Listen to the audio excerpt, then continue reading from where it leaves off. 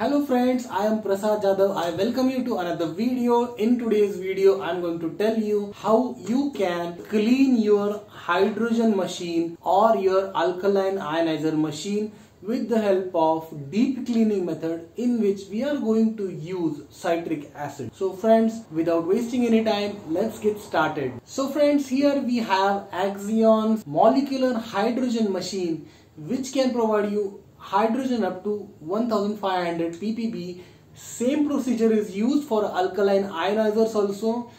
Any ionizer you can use same process to deep clean to remove the scaling from the plates so that your machine can produce more alkaline or more hydrogen for this process, we will be needing one booster pump, ionizer itself and citric acid. Citric acid can be found in any general stores or any chemical stores near you. For one cycle of process, we will be needing only 30 grams of citric acid, not more than that. So first we will be creating 1 liter of water solution with 30 grams of citric acid. So we have got this citric acid, this is 50 grams. So we have taken out 30 grams out of it. It looks like this in form of crystals. So we will first put 30 gram of citric acid in a bowl. Then we will add 1 liter of water. And then we will mix it properly until it gets dissolved. When the solution is totally dissolved we need to remove the filter which is backside so you can open the case where the filter is there. In my case, this is this kind of filter.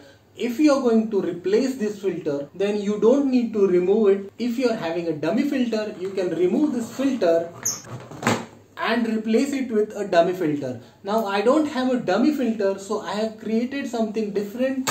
So I have created this hack. This will go inside the pipeline directly where my filter is going to be installed and the other end will go into the booster pump which we have here. So the end will go here into the booster pumps out and the booster pumps inlet will go into the bowl that we have placed. So it looks something like this right now.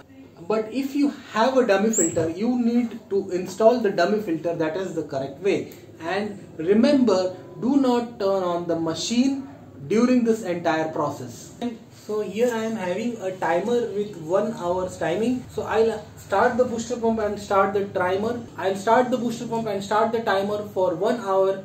We have to rotate this citric acid solution inside the ionizer. So we will start it now. So as you see this water is coming and falling in this bucket again and that water is circulated by the booster pump inside this ionizer or hydrogen water machine. What the machine is totally off so no supply is given to the machine and this process needs total one hour to complete. So meet you after one hour. So okay we are near to complete of one hour. So anytime now the buzzer will ring and after one hour we need to again run this machine with fresh water for at least 10 minutes. So one hour has completed. So now I am having fresh water in this bowl and again I will run this machine for 10 minutes then we can use the machine.